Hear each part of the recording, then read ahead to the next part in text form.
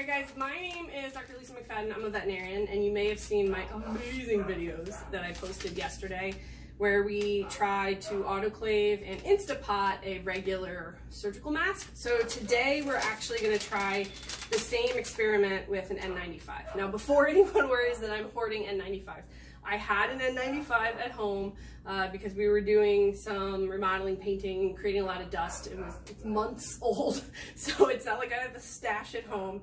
I don't need to like purge my house. Uh, so I, it is very possible because this has been used multiple times that there's questions as to whether or not when it's worn multiple times if that can affect the porous nature because they're called N95s because 95% of particles that are 0.3 micron in size, it protects from it passing through the mask. So this is actually a pretty good experiment because this is a very well worn N95 and we're gonna see what happens when we autoclave it. So there's a couple of parts to today's experiment. We're gonna see if we can autoclave this and it doesn't melt and the hospital doesn't burn down. And then we're gonna try and Instapot it and see if that works. And again, we don't melt the Instapot or the hospital or the mask. And we're also going to do some experiments to try and see if the porous nature of the mask is affected. And I am using the best low budget options I have by trying food coloring and albuterol. Even though the micron size of albuterol is a lot bigger than 0.3, it's the best we could do. So the whole point of this is to say, okay, can we sterilize these so that they can be used multiple times? Again, masks don't need to be sterile, but we are running really low and no one wants to wear a face mask that somebody else wore. So if we can sterilize them and they're still viable, then maybe we can get more use out of the current supply that we have. This is not going to answer how many can you put in a package and sterilize it. This is not going to answer how many times can you sterilize it. This is simply can you and hopefully kind of open the door for other people who have actual laboratories and a, and a budget to study it a little bit more. So we are going to do the autoclave at the same uh, 121 Celsius, 250 degrees Fahrenheit. We're gonna do it for 25 minutes because again, it takes 10 minutes for it to warm up and then it's gonna run for 15 minutes. And then we'll see what it looks like when it's done. All right, moment of truth. Let's see what happened.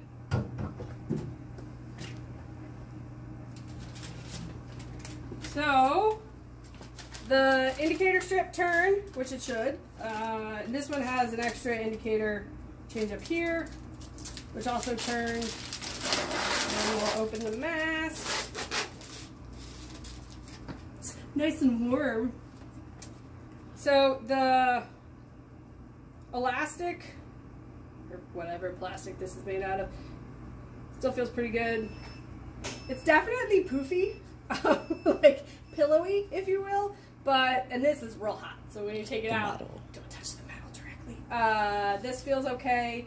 This part's pretty poofy. Um, that's the technical term. I don't really, billowy, if you will. And you can still see a little bit of the yellow, but there's no yellow on the inside. So because we're going to be testing whether or not it's still preventing particles from coming in so that, you know, the autoclave hasn't increased its porous ability. I don't know, what the, it's not more porous. Um, if this is like a little damp because of the humidity from the autoclave because you know, it's a pressure cooker, then I would let it dry. This feels pretty good because it's been in there for a little bit. So we're gonna try doing the albuterol infused with, well, let's pick blue at this point. And then once we do that, we will try it in the Instapot and see what happens. This was the best I could come up with this morning, very short notice, trying to brainstorm a way to figure out whether or not we maintain that protective barrier uh, after autoclaving and after the Instapot. And as you can see, we're still seeing appointments. This is Tiny. Tiny's getting electroacupuncture whilst we talk. So this mask we have not yet autoclaved or Instapotted. So my kind of like brainstorming idea, and again, there's a lot of flaw in this, so people can repeat in an actual laboratory environment with like $25,000 equipment, uh, was we are going to nebulize albuterol uh, this is an expired albuterol that I had using salmon seal, which is appropriate given that this is a veterinarian talking about this. So albuterol has a one to five micron size, which is way bigger than 0.3, obviously. And my thought was I'll put a drop or two of food coloring in and then we'll nebulize for about 15 seconds and then we're gonna let it sit. And so the reason we're gonna nebulize for 15 seconds is so that we ensure that we kind of coat the whole outside. Now, when you wear a mask, you're creating a pressure differential, right? Because you're breathing in and it's not a complete vacuum seal, but it is a slight seal. So I am gonna wear the mask because I had this whole idea of like hooking it up to a vacuum, but then that's kind of like too much pressure and then I would have to create this whole like apparatus and put it up to the vacuum and it seemed like a lot of work. And because these masks I've had for months and used multiple times for different uh, like aerosolized particles, if you will, at home. I don't know how protective they are now. So I'm gonna wear a surgical mask underneath just because while I don't mind inhaling albuterol, I'm not really sure how safe it is to inhale food coloring. So I am gonna double mask it. So the double mask is going to potentially interfere with the amount of suction you would normally have when you're breathing behind a mask. But again, this is like MacGyver, Bill Nye the Science Guy experiments, so we're doing what we can. So particle size is gonna be larger, pressure differential may not be as big, or I'm, I'm sorry, the pressure differential may not be as great. And then the other question is, uh, my husband and I are actually talking about this, and his question was, well, some of the protective nature may be that the electrostatic uh, forces on the mask itself provide like a hydrophobic barrier. So how effective is going to be after autoclaving, that's something that we'll find out. So the reason after we do it for 15 seconds, we're going to let it sit for up to 30 minutes, is to see if we notice any discoloration on the inside or outside and inside of the mask. Because my thought was if you wear the mask all day or for multiple hours, even if, I mean, someone's not going to sneeze on you, hopefully for 15 seconds straight, because that'd be really gross for multiple reasons. But if you have exposure multiple times, if you touch a surface and then you touch the mask, or someone sneezes on you and you don't burn your entire being, then the particles are going to sit there for a while. So the thought was if it sits for about 30 minutes, then we're going to know whether or not it can actually penetrate. So I have three colors, which is convenient because we're going to do this three different times. So we'll start with yellow. And this way I figured like if the colors mix, we'll be able to tell what, you know, like if we do this with yellow and there's no bleed through, but then we autoclave it and there's bleed through, then we know that it was the autoclave uh, and not the actual um, just presence of it sitting. So we're gonna put the albuterol in here. And again, I, I, larger micron size, I have no idea if it being a couple months expired affects the micron size. I don't think so. I also don't know the micron size of food coloring. That, that looks, that looks like a fine, like scotch color, I guess. It's actually whiskey. So then we're gonna hook it up. Actually, let me put the mask on because I feel like this is gonna tip over. So we'll do this mask, and then we'll do this mask. And if I can't see anybody because of the fact that I'm just like fogging myself out, I don't have the bottom one on because I don't want to. All right, let's do, we'll do the smoker. That's not really what this thing's called. This is the mouth attachment. I just call it the smoker because it, and then, I mean, otherwise we have the turtle mask, but I feel like we'll use the smoker. Okay. Next time. So 15 seconds is a total arbitrary number that I picked. I feel like, again, it should be fine. And we'll also be able to tell if we get any aerosolization on my glasses. Uh, all right, so let's, you can count off 15 seconds. Go. If there's any coloration on the outside now. Mm-mm. Uh, none that I, maybe like, it's a little jaundice if I look at it very closely. So we're gonna leave it for 30 minutes just to see if there's any discoloration over the next 30 minutes. And then, yeah, like, I don't know, bilirubin's mildly elevated. Uh, the doctors will find that funny. Everyone else will just think I'm extra nerdy. That's cool. Uh, the doctors will probably think I'm nerdy too. And then we'll come back and see what it looks like in about 30 minutes. Okay, so it's time lapse, so you guys have no idea that it hasn't actually been 30 minutes, but we tried an experiment on paper, and if you hold it in the same place for 15 seconds, you do actually start to see the yellow, which will be really helpful. So we're gonna do it again, just like in the center, and I'm gonna take extra deep breaths, hopefully I won't pass out.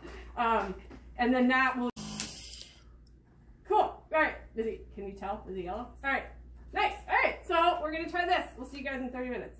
So it's been 30 minutes, and I don't know if you can tell because of our high budget lighting that there is less yellow on the outside, no evidence of yellow on the inside. And I should mention that I'm repeatedly touching the inside and outside of this mask, which is not recommended for people that are wearing them on a daily basis. Uh, you don't want to contaminate the inside of your mask because that's where your face is going to be the whole time. So now we are going to see if the same experiment holds true for the post autoclave mask.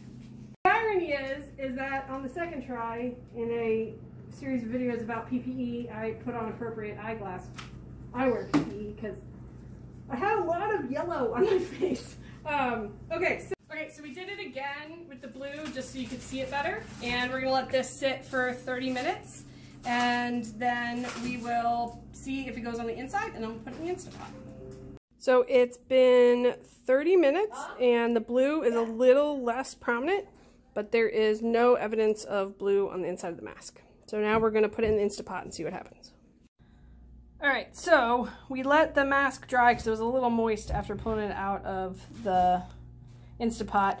And then I put the green food coloring in with the albuterol. And this time I actually also added uh, some fluorescein dye. It's what we use to stain eyes to see if there's any scratches. Because I was wondering if you would be able to see if it fluoresces and see if maybe there's any like sneaky particles that pass through. So in this tube, we have green dye mixed with albuterol mixed with the fluorescein stain so you can kind of see how it fluoresces a little bit.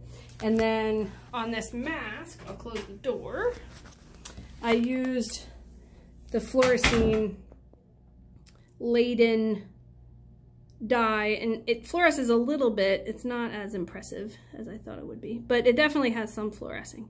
So we're gonna leave it for 30 minutes and then we'll visualize to see if there's any evidence that it went through on the other side with green or if there's any evidence of fluorescein. Now you will notice on the inside, I don't know if you can see it, there's a little bit of yellow right here.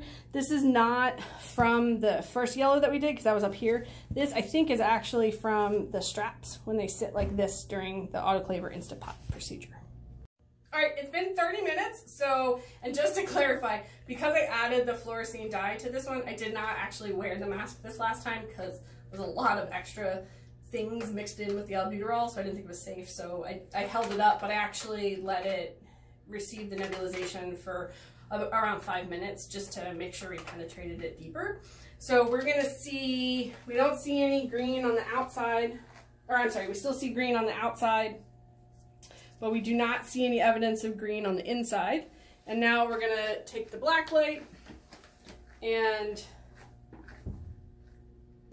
I don't really see anymore any overt evidence on the outside.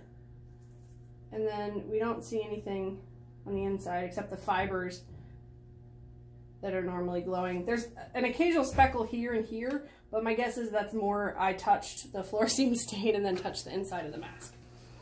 So, at least from this makeshift experiment, we know that you can autoclave and be able to successfully rewear an N95. You can Instapot and rewear an N95.